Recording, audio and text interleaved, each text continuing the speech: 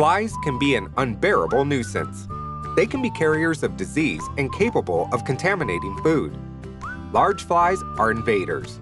They invade structures from the outside through gaps in windows, doors, eaves, overhangs, and cracks. They breed outdoors on decaying organic matter.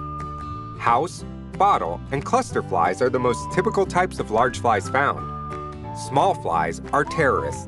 Their habitat and breeding source are within a structure. They're usually brought in with fresh vegetables, fruit, or potted plants. Infestation continues as long as the breeding source is present. Fruit flies, drain flies, and fungus gnats are the most typical types of small flies found.